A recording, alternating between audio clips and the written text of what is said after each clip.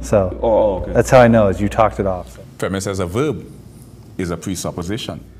Right. And all investors in their collective consciousness into consideration. It's invalidating that. And this is Right. Magneto watched his mom assassinated.